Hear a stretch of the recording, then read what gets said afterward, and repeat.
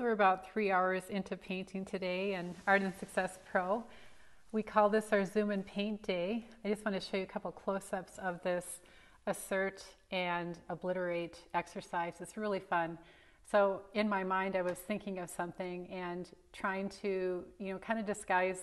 Obviously, I don't quite write like this, although my handwriting is pretty awful.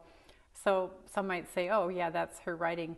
But anyways, um, you, you can kind of put some messages into your art, which is really fun. And uh, during this day, we take breaks where everybody shows what they're doing or whoever wants to show what they're doing, they can talk to us. And one thing that we've been discovering is that this particular exercise has been really, really amazing for many of our artists because it offers them the chance to just really be emotional, expressive, and not worry about the results.